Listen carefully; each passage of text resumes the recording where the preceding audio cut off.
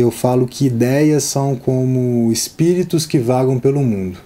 O espírito ele não faz nada no mundo, ele é só um espírito. Porém, ele te visita.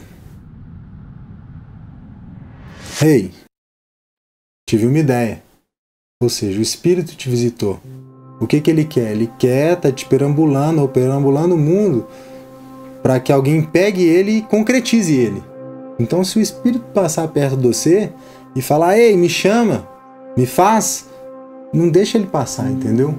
Porque com certeza ele vai visitar uma outra pessoa e essa outra pessoa vai pegar e vai concretizar essa ideia no mundo.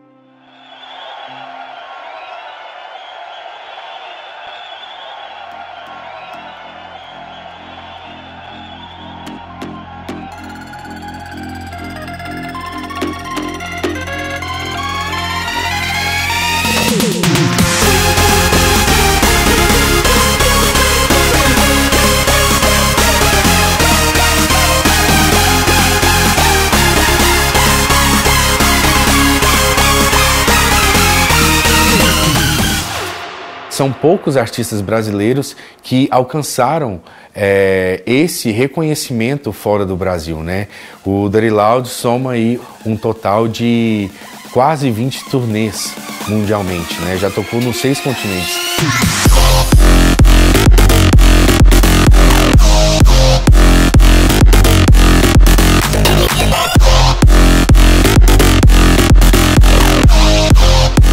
Toquei muito lugar especial Red Rocks, né, que é no Colorado, que é um dos anfiteatros mais bonitos do mundo, né. Lá, é, lá é esse lugar que você fala, nu, que isso? Que eu tô aqui, eu vou tocar aqui, parece que é um mar de gente que vai te engolir, porque tem duas costas gigantes, né, e, e, é um anfiteatro, então ele é arquibancada assim subindo, é algo espetacular. Sem sombra de dúvidas, é o melhor lugar que eu toquei no mundo.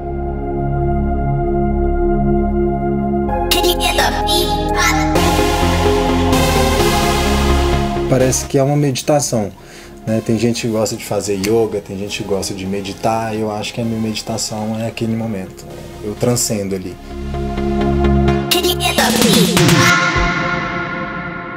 Quando eu comecei a tocar, eu não tinha pretensão de chegar em lugar nenhum. Eu tinha 15 anos, eu não pensava em ganhar dinheiro ou ter uma profissão. Eu fazia só por amor, eu fazia porque eu queria. Meu primeiro show, lembro, foi na Major, aqui em Belo Horizonte, né? Na minha cidade mesmo. É, lá existe até hoje, é uma balada super tradicional aqui. E é a balada que abre a porta para todos os artistas que estão iniciando. É, lembro como se fosse ontem, era uma quinta-feira, eu era menor de idade, acho que eu nem podia estar lá. E eu tinha aula na sexta-feira, eu ia pro colégio, virado no dia seguinte.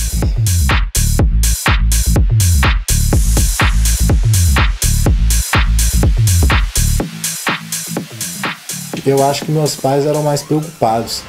É, porque não sabe, né? O que, que passa na cabeça do seu filho de 15 anos de idade? Será que ele pensa que 200 reais dá para viver a vida? Dá pra você, né? DJ? Ele falou assim: é. Peguei e falei com o Vacil: Vacil, o Marco foi em São Paulo fazer um curso de DJ. Ah, mas você vem muito. Ah, você quer, pá. Aí eu falei assim: não, é, deixa ele fazer, eu acho que a gente tem que seguir os nossos sonhos. E eu fui contra, mas aceitei. Então nós queríamos ver nossos filhos é, é, passando um concurso público, né? A minha concepção era essa, era ser um juiz, era ser um, entendeu? Um desembargador. É o meu sonho, era o meu sonho. E a gente, como pai, a gente é, normalmente gosta que os filhos façam isso, né? Não tem nada a ver. E eu sempre falei com o Assi, olha, eu acho que as pessoas elas têm que seguir a vida delas, não a nossa. Aí nós começamos a acompanhar ele, né, e, e, e vibrar e sofrer junto. É o que é o primeiro, primeira entrevista, primeiro CD que ele, que ele, que ele gravou, que essa foi quando ele tocou no Lola, que saiu aí. Nossa.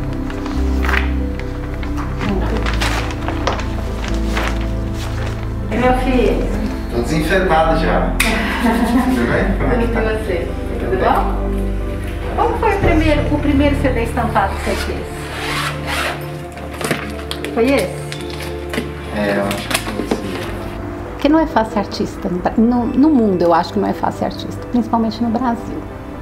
eu sou uma apaixonada pela arte, qualquer tipo de arte. Para mim, a arte salva o mundo. Não consigo me imaginar fora da música, não consigo me imaginar fazendo outra coisa. É... Mas quando eu era criança, eu queria ser jogador de videogame. Com certeza.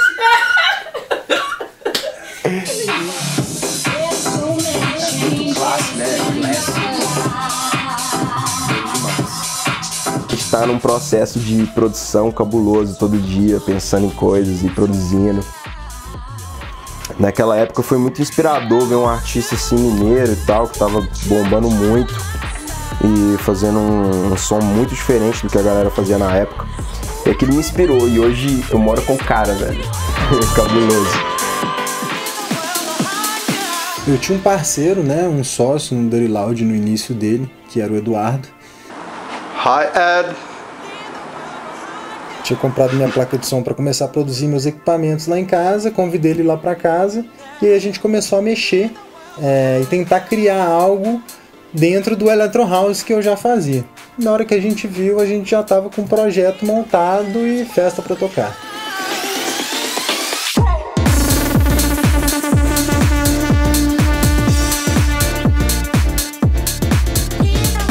Nós lançamos três músicas Vamos soltar essas músicas aqui as três músicas entraram no top 10 né, do gênero que é o Electro House dentro do site que é o Beatport, que antigamente era a maior plataforma de venda de música e pesquisa para DJs. E aí já começou e-mail, requests, remix, datas fora do país.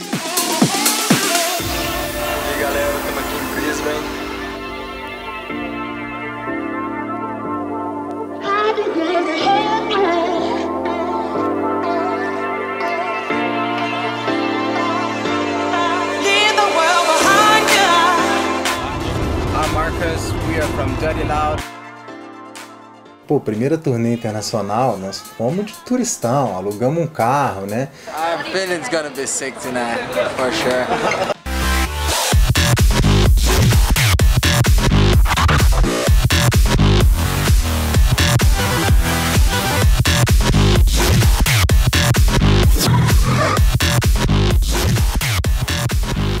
Essa interação que existe é, com o público norte-americano e o Dirty Loud, há um fator diferente.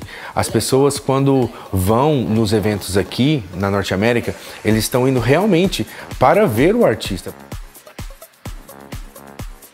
E você receber um request para fazer um remix do Calvin Harris ou da Shakira, não tem ninguém que não vai emocionar em casa, né? Mas eu acho que o que me deixou mais feliz foi quando ela tweetou a respeito da música. E a partir daquele momento você sente uma proximidade muito grande com o artista que você trabalhou ali e você não trabalhou com ela. Ela estava ali cantando para mim, mas não. Né? Então, assim, é o momento que ela postou um tweet falando a respeito do remix que gostou, aí é uma coisa que já mexeu bem mais comigo, assim. Eu acho que esse é o maior feedback que o artista pode ter, é essa satisfação, né?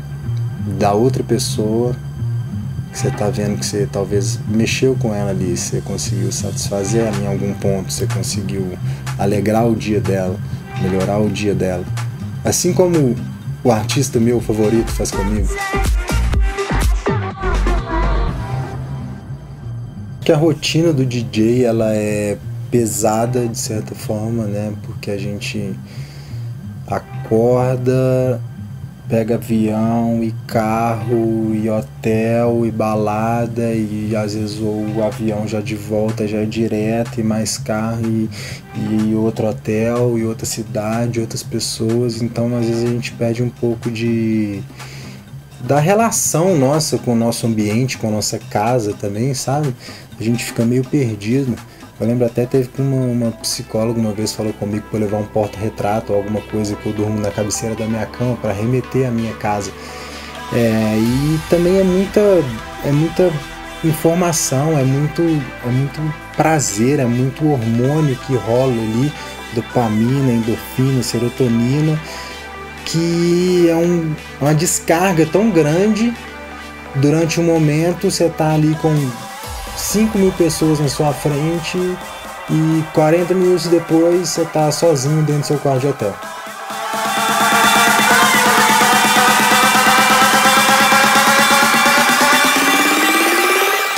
Welcome.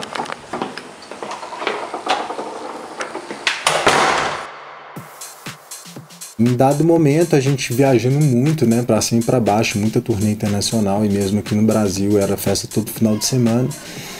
Ele deu uma desanimada de, de viajar e de tocar e quis ficar mais dentro do estúdio, até porque a gente estava sem tempo, né, para produzir, sem tempo para criatividade, de tanto trabalho que estava, estava muito massivo. E ele resolveu seguir o caminho dele. Nós não temos nenhum atrito, nunca tivemos. Ele foi um parceiro que eu tive durante sete anos e eu sou apaixonado com ele. Ele é um, um gênio.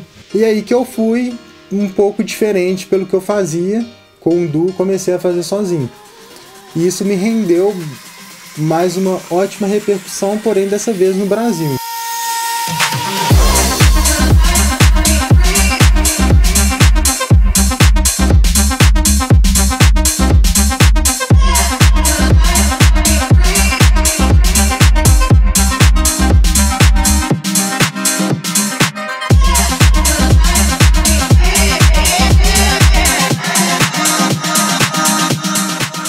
Essa é a parte mais difícil do artista, assim, é a cobrança, né, do do sucesso, se vai dar certo, se o público vai gostar, se a gravadora vai gostar. Acho que todo artista ele passa por um momento de dificuldade maior. Não existe vida que só vai assim. Não existe. Você vê talvez aquela pessoa aquela outra pessoa, ela pode estar no momento dela assim, ó. Ou ela já esteve caindo, ou ela vai chegar nesse momento. Não existe vida que só vai assim o tempo inteiro.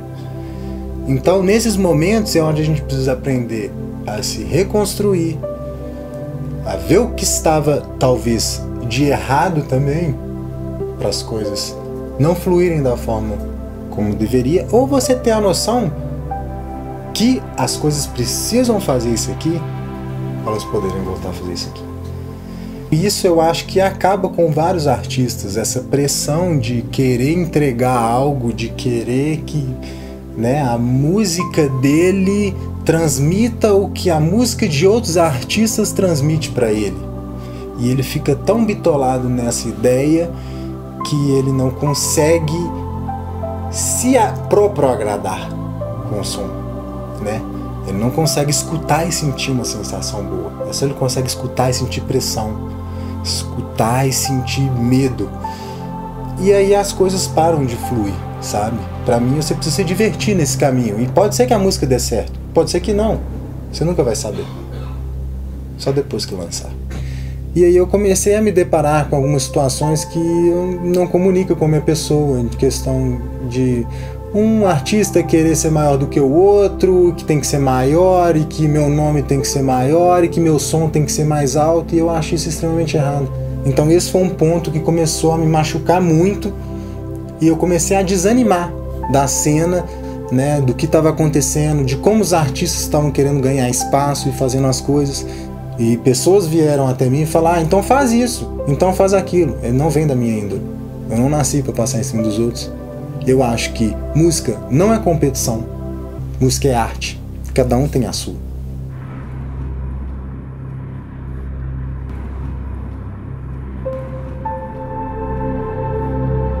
Passaram um milhão de coisas na minha cabeça. Com certeza desistir foi uma delas que passou várias vezes na minha cabeça. Não sei nem como é que eu falo isso porque só de pensar em viver sem música ou fora da música já é algo muito mais desesperador, né, do que achar uma solução para esse momento. Então eu pensei em todas as hipóteses que você possa imaginar. Ter que começar a fazer o que eu não gosto por dinheiro ou porque dá certo. E nada disso era uma solução para mim. Eu acho que eu tava precisando viver a alegria que eu não vivia mais. E eu preciso voltar a ter o que eu tinha. Eu preciso voltar a, a brilhar do jeito que eu brilhava. Né? Eu preciso voltar a contagiar as pessoas da forma que eu contagiava. E eu senti que eu não estava mais contagiando as pessoas da forma. Eu não tinha mais alegria interna, sabe? Eu não chegava num lugar e era aquela pessoa feliz como sempre fui.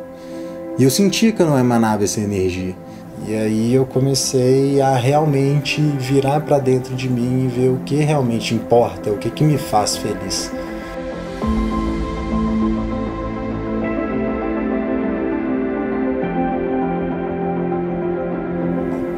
E aí eu voltei para a música, esqueci todo o resto que tá por fora e resolvi fazer o que eu realmente gosto. Do mesmo jeito quando eu tinha 15 anos de idade. Cara, eu gosto disso aqui, sou apaixonado com isso aqui e eu vou fazer isso aqui. Não vou te falar que eu acho que eu nasci para fazer isso, ou minha vocação, mas é, eu acho que eu nasci para fazer isso. Não consigo me imaginar fazendo outra coisa.